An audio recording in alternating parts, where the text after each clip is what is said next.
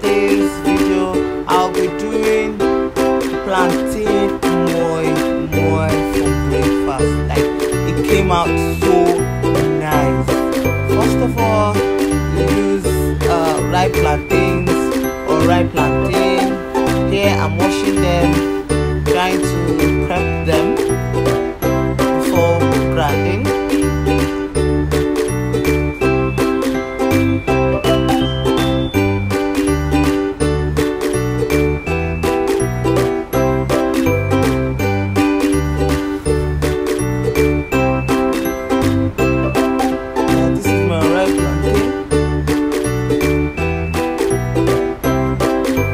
added this on ripe plantain to make it uh, come out uh, firm.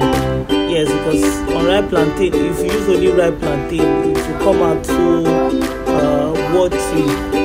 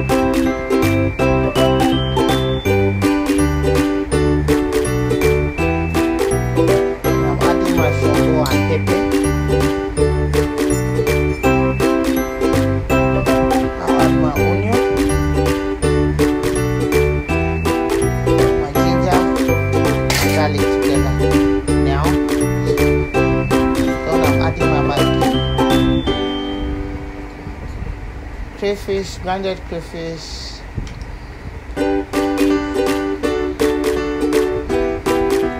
I love eating crayfish. If you are like me, please comment in the comment section. Please